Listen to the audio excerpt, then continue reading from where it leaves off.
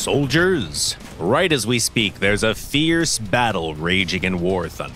A new type of battle where troops use never before seen advanced weapon systems combat exoskeletons. There's no end in sight to this conflict, which means that every day, countless damaged exoskeletons are brought back here for repairs. They're amazing pieces of equipment, but they're not indestructible. And it's you, and only you, who can repair them so that they can be used once again.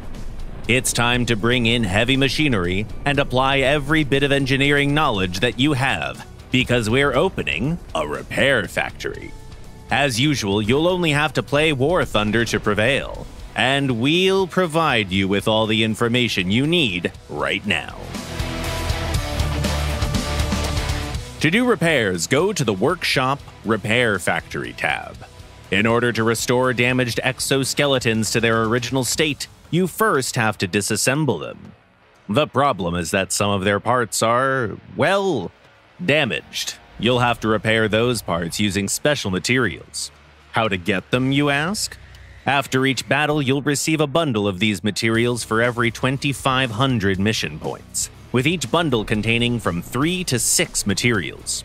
Keep in mind that in order to get these bundles, you have to play in vehicles that are at least rank 3. You can also get materials by scrapping defective parts that can no longer be repaired. This factory is completely waste-free.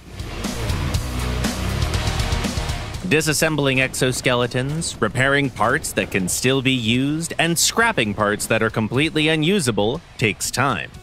But you can spend this time in battles. Not to mention that players that manage to get first place on the leaderboards are also rewarded with a factory upgrade toolkit. If you get enough of those, you can upgrade your factory to speed up the process.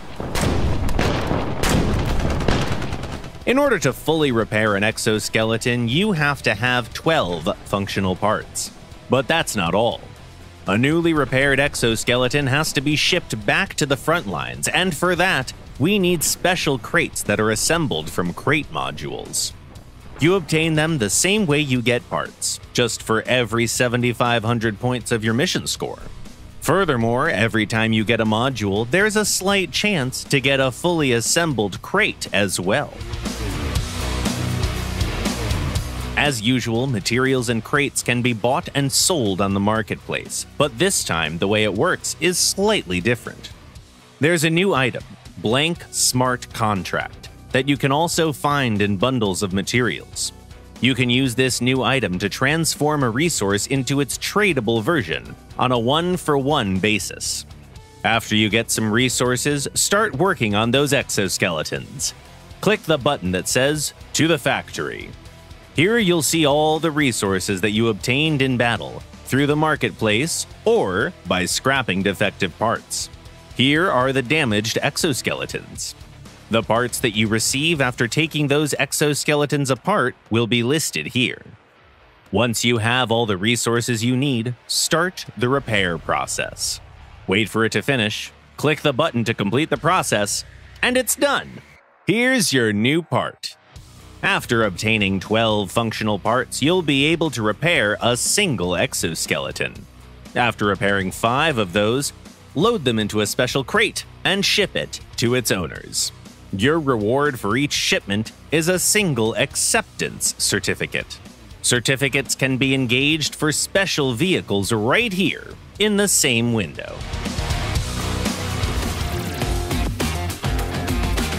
For one acceptance certificate, you can get the AMD 35, a French armored car equipped with an SA 35 cannon. This is a highly mobile vehicle with a quick firing armament, which is also very fast when moving in reverse, making it a great pick for flanking or setting up ambushes. If you prefer naval battles, then there's an option to exchange three acceptance certificates for the Shcherbakov light cruiser of Project 68 BIS. Compared to her researchable counterparts, she has an improved AA battery.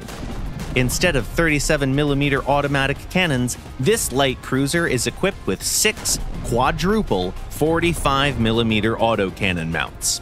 the Shcherbakov light cruiser is a true universal warrior of high rank battles. If you're a ground battles fan, you can spend three certificates to obtain the Chinese QN 506 multi weapon armored vehicle, based on the chassis of the Type 59 tank. Chinese engineers gave it an impressive array of weapons, from a 30mm automatic gun to unguided missiles and ATGMs. This vehicle has something for everyone. Finally, pilots can use three certificates to get the A7K, a two seater variant of the legendary American attack aircraft that can deal with basically any target thanks to its wide variety of weapons, including Maverick missiles. And that's it fight other players, win battles, obtain materials, repair exoskeletons, and exchange acceptance certificates for cool new vehicles.